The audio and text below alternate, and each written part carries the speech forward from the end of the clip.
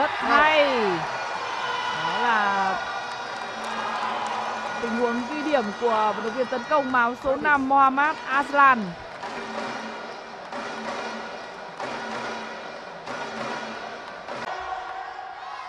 Players ready.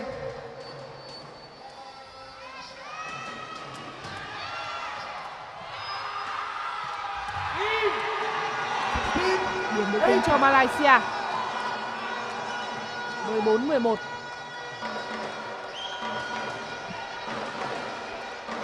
ta sẽ theo dõi lại cú tấn công này.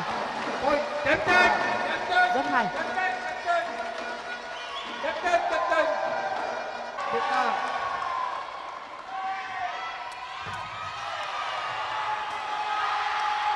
cơ hội cho Malaysia vẫn chưa được.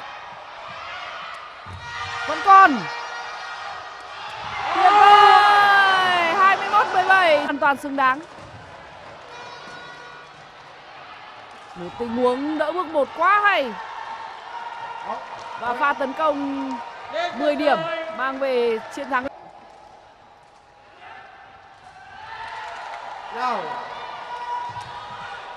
Vẫn còn cơ hội cho Malaysia. Quá hay. Lần nữa thì Mohamed Aslan lại cho thấy kỹ thuật rất tốt của mình Tình huống bước hai không thật sự tốt nhưng Aslan vẫn có một ừm, pha dứt điểm trên. Đây là cơ hội của Thái Lan. Vẫn còn bước một rất tốt. Tấn công! Tuyệt vời! 18. 30.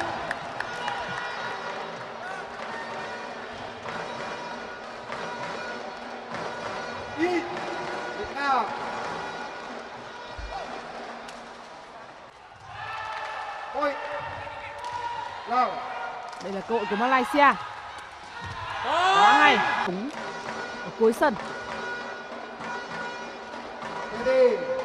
hai đội hình của Thái Lan. Ladies and gentlemen, team double. On my Malaysia, Laos, và như vậy là cuối cùng thì Malaysia cũng đã rút ngắn được cách biệt. Bây giờ tỷ số lại quay về. Thế cân bằng chín đều. Asman. Asman. Let's ready. All right.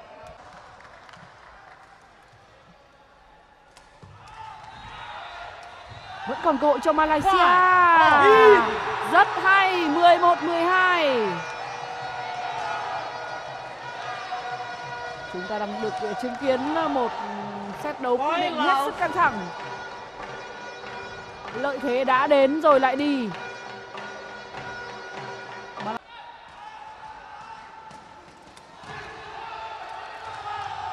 Point Laos. Service over. Out. Và như vậy là điểm thứ 12 dành cho Malaysia.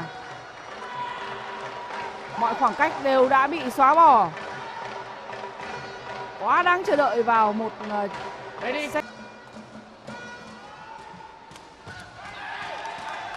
Vẫn còn cơ hội cho Malaysia. Có điểm không? Tuyệt viên tấn công của đội tuyển ờ, Malaysia Amirul Zawak đã có một ờ, trận đấu hết sức hiệu quả.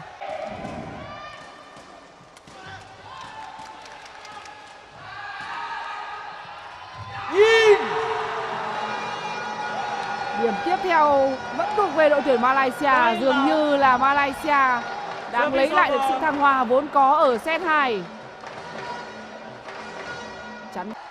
Service over. cơ hội của Malaysia chưa được.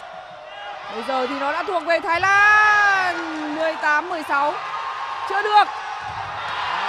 Và cuối cùng thì Malaysia mới là đội ghi điểm.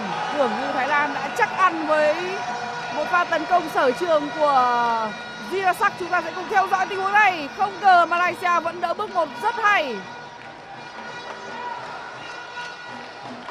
nói là cực kỳ hấp dẫn. 7 đều. Việt Nam Challenge. Bước một tốt. Quá hay, cầu trong sân.